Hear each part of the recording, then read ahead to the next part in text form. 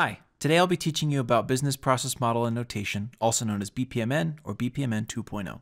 BPMN is a flowchart method that models the steps of a planned business process from start to finish. At a high level, BPMN helps stakeholders gain understanding through a visual representation of a specific process. Because diagramming can make complex ideas easier to understand, BPMN helps process participants, analysts, managers, technical developers, and many others to visually represent things like order fulfillment, incident management, purchase processes, and many other essential business sequences.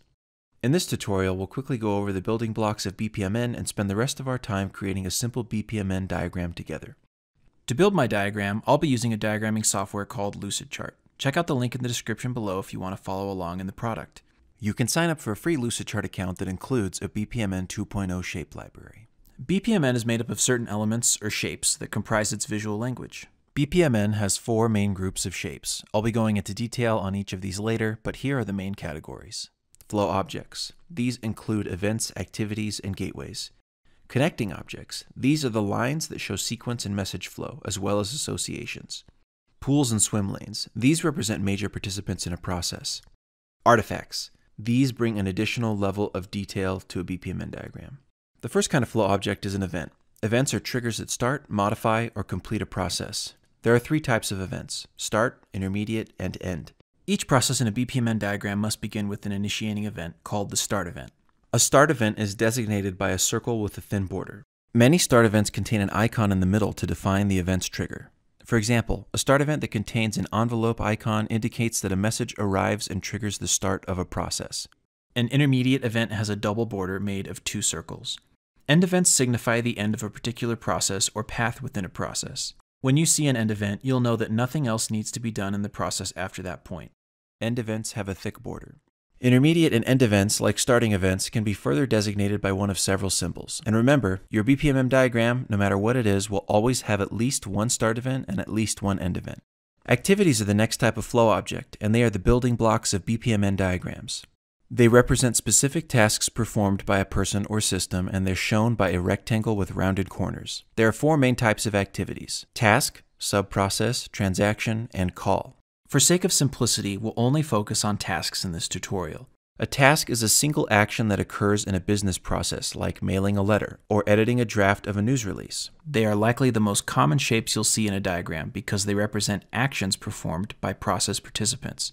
Remember that activities, like a lot of shapes in BPMN, can be further designated with icons to visually show important attributes, like message send or receive, user tasks, manual tasks, or service tasks, among others. The last type of flow objects are gateways. Gateways are represented by a diamond shape and are decision points that can adjust the process path or flow based on certain conditions or events. Like a pipe may split and divert water in two directions, so are gateways. They create a condition where a choice needs to be made. For example, a gateway can be used to show the separation in a process path where a customer decides between two different shipping options. There are several different types of gateways differentiated with symbols. We won't go more into these right now, but I'll include a link in the description of this video that covers each type in more detail.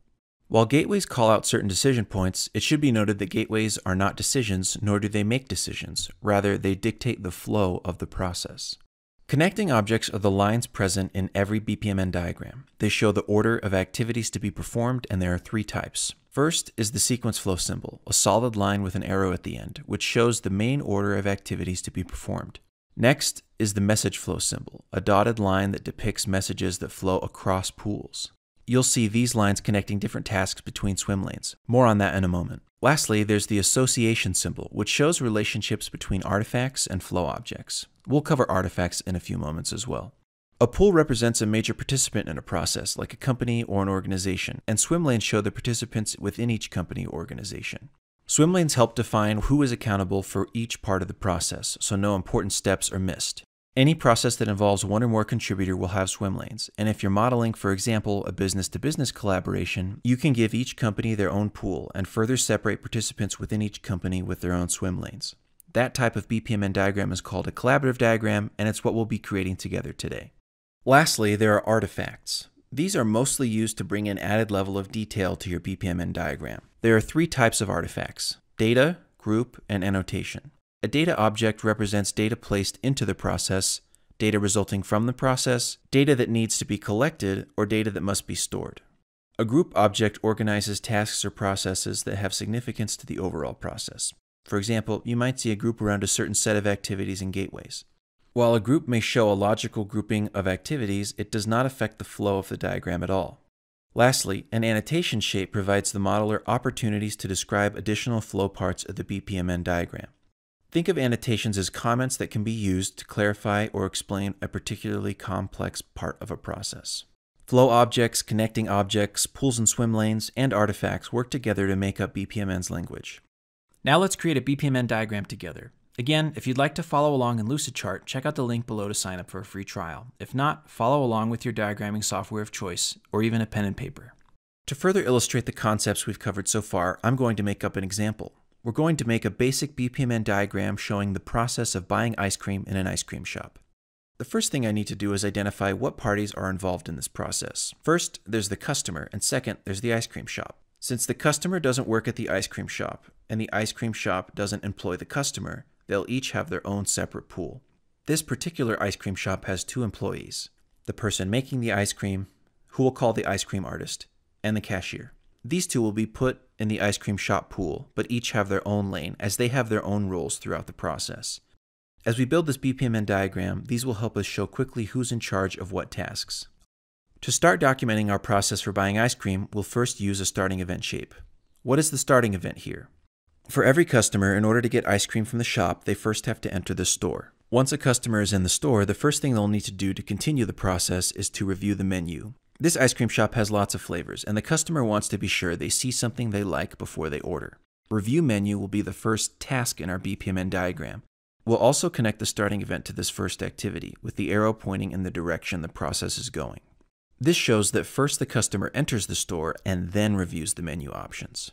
After reviewing the menu options, the customer can react in one of two ways. They'll either see something they want to order, or they won't want to order anything. Because we have two options after this first task, we'll need a gateway. Remember, gateways are diamond shaped and help guide the flow of the process. We'll include an X in the gateway to show that these two options are mutually exclusive. This is called an exclusive gateway. So we'll draw two arrows and label one wants to order ice cream and the other doesn't want to order ice cream.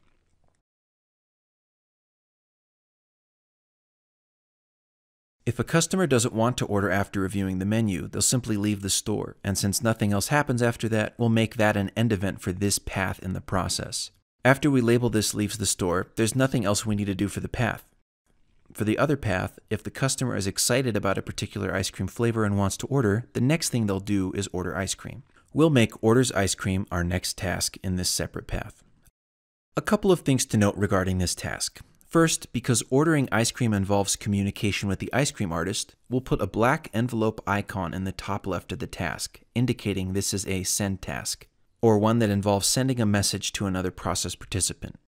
Second, we need to consider what comes next in the process for both the customer and the ice cream artist. If you're the customer, after you've ordered ice cream, you need to wait for your ice cream to be made. This is our first intermediate event in the process, and we'll label it Wait for Ice Cream to be Made.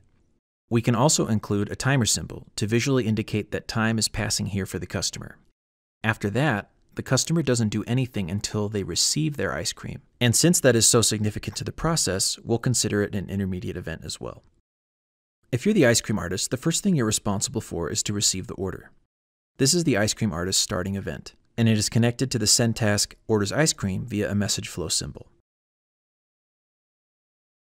We'll also put a white envelope icon in it to indicate that the message that was sent by the customer is received here. After the order has been received, the first task they need to perform is to check and make sure the ingredients for the order are available. The ice cream artist can't fulfill an order request without the necessary ingredients. At this ice cream shop, all the ice cream flavors are in tubs, so the ice cream artist can easily see what flavors are available. For the sake of this example, we'll call the tubs of ice cream our ice cream data, which we'll represent with a data shape. To fulfill the task check ingredients, there needs to be an input of ice cream data. We can connect the data shape to the check ingredients task to show that at this point in the process, data must be input to move forward. We can also include an arrow icon with our data icon to show that this is data being input for this task. After checking for available ingredients, one of two things can happen. Either the ingredients are available, or there are not enough ingredients to fulfill the order. Because these options are mutually exclusive, we need another exclusive gateway to show the split in the flow of the process. we'll label the two arrows after this gateway to show the options. If ingredients are available to fulfill the order, the ice cream artist can make the ice cream. Since making the ice cream is performed physically by a person, we'll put a hand icon in our task to reflect that. This is a manual task. After making the ice cream, the ice cream artist then gives the ice cream to the customer, which is another manual task. But if there are not enough ingredients to fulfill the customer's order, the ice cream artist needs to perform the task, informs the customer. Then the customer will need to review the menu to see if there's anything else they want. And since that is already a step in our process, we can connect it back to the first task for the customer. Then the customer can decide if they want to order or not, and the process will continue as we've documented it so far. When we go back to the task gives ice cream, we'll use another message flow symbol to return to the customer pool and connect it to the intermediate event receives ice cream. Now that the customer has the ice cream in their hand, the next thing they need to do is pay for it. For sake of simplicity, we'll say that this ice cream shop only accepts credit cards. To pay, the customer will need to give their credit card to the cashier, which will begin the process for them. Just like when the customer gave their order to the ice cream artist, we'll include an intermediate event here after gives credit card to show that the customer waits while the cashier performs their tasks. The starting event for the cashier in this example will be credit card received. From there, they'll perform a few tasks to process the transaction. First, they'll confirm the order, and then the cashier will run the credit card through the machine, and finally, will return the credit card and receipt to the customer. Since these three tasks are all part of the transaction process, I'm going to use an artifact to show that they go together. The artifact I'm using here is called a group, and I'll put it around the three cashier tasks and label it transaction process. Once the cashier has performed these tasks, the process for the ice cream shop ends, so we'll put an end event here and label it transaction complete. When the cashier gives the credit card and receipt to the customer, the customer then needs to receive their credit card and receipt. We'll also make this an intermediate event. After the customer has their ice cream, method of payment, and receipt in hand, they're now ready to eat their ice cream. The process ends when the customer finishes eating and leaves the store. Eats ice cream will be our customer's final task, and since it's a manual task, we'll label it with the appropriate icon. Leaves the store will be the end event for our process for the customer. BPMN is a great way to communicate complex processes to stakeholders in all departments. The example we made is fairly simple, but BPMN diagrams can get even more complex. Thanks for watching this tutorial on BPMN 2.0. Please subscribe to our channel to see more helpful tutorials, and don't hesitate to click on the link and sign up for a Lucidchart account and start making your own BPMN diagrams today.